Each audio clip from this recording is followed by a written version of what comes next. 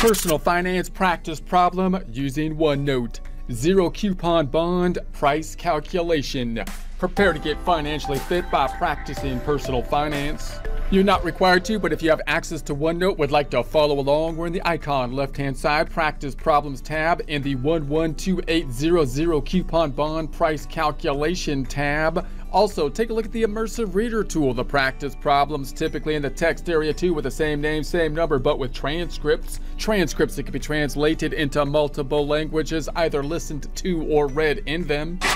Remember that when we're thinking about investing in bonds, we can basically think of it as though we are loaning money to the issuer of the bond, that being either a government entity typically or a corporation in return for a series of payments like rent on the loaning of the money as well as the face amount that we will be receiving a lump sum at maturity. That lump sum we can typically think of as the return of the principal of the loan, although the amount that we loaned, the amount that we purchased the bonds for, in other words, may differ from the face amount if we purchased the bonds at a premium or a discount. When we look at the price of the bonds, calculating the price, we're going to think about those future cash flows that we will be receiving, the annuity component, as well as that one lump sum we're going to get at maturity. We're going to use then the market rate to discount them back to the present value to help us to determine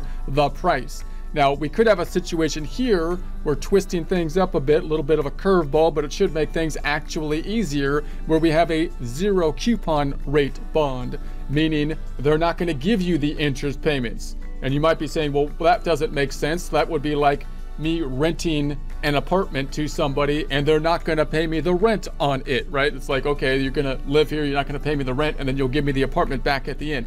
But it's not quite the same thing because obviously the other component would be us purchasing the bond at a premium or a discount, in this case, the discount.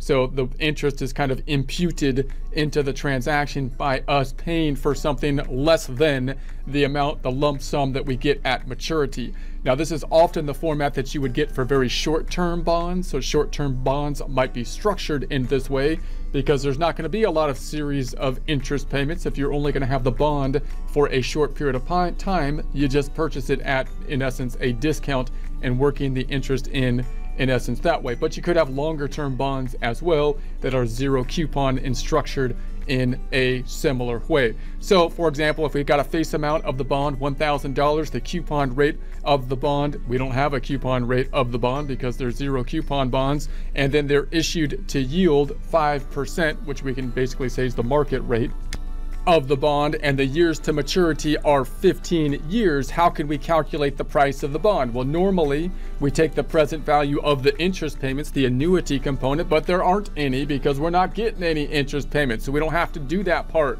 Instead, we're just going to take the present value of the face amount. We're going to get $1,000 at the end of this bond if we discount it back using the current market rate we would take the present value of the rate, 5%. It's a yearly rate, so we're just going to keep it as is, comma, number of periods is going to be 15 yearly periods, so we keep that as is, comma, comma, because there's no payment, there's no interest involved. We're just going to get that future value, that $1,000 at the end of the term, that being 15 years, we get 140 or 481 and that is the price of the bonds because there's no interest component.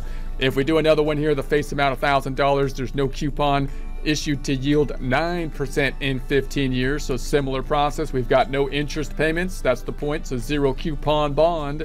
We don't get any interest payments. But uh, why would we buy it? Because we're only going to buy this thing for $275 if they're going to give it to us because we're not going to get the 100,000 until 15 years into the future. Therefore, we're willing to pay, given our present value calculation, rate 9%, comma, number of periods 15 years at no payment, future value 1,000. If I bring that 1,000 back, discounting it at 9%, 15 years, we get the 275. So I'll give you 275 today if you give me that $1,000 in uh, the future. Of course, the difference between the two, $1,000 minus that, uh, I've covered the number up, minus the 275 in, is in essence interest, right? Kind of imputed into the calculation. Okay, the last one, lastly, face value 1000. What if the issue uh, to yield was 12%, in essence, the market rate. So now we're going to say we're not getting any coupon payments. We're going to say now the present value would be 183 because we're discounting that $1,000 back once again, this time at the higher rate, the 12% rate for that same 15 years.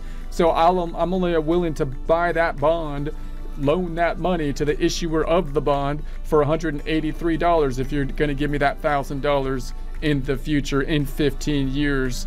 And so that is the zero coupon bond. So once you get a hang of that, it should be an easier calculation, of course, to make uh, because we're just, we now we've only got that one kind of component instead of a normal bond, which is a little bit more confusing to think about over time because you got those two different streams of cash flows happening in the future. One being an annuity, the interest components, which are not here on the zero coupon, the other being the present value of that one face amount, the amount, the lump sum at maturity.